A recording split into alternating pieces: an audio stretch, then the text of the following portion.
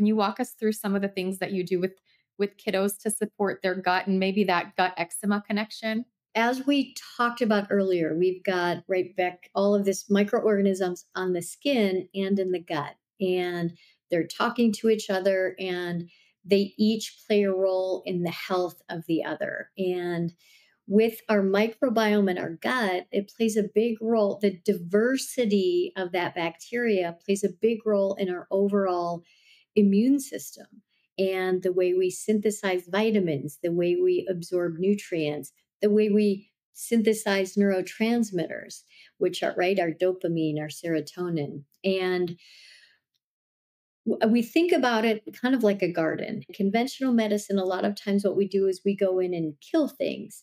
But what we're doing is we're saying, let's make sure that we've got the right fertilizer, right? And fiber from food is really our big tool.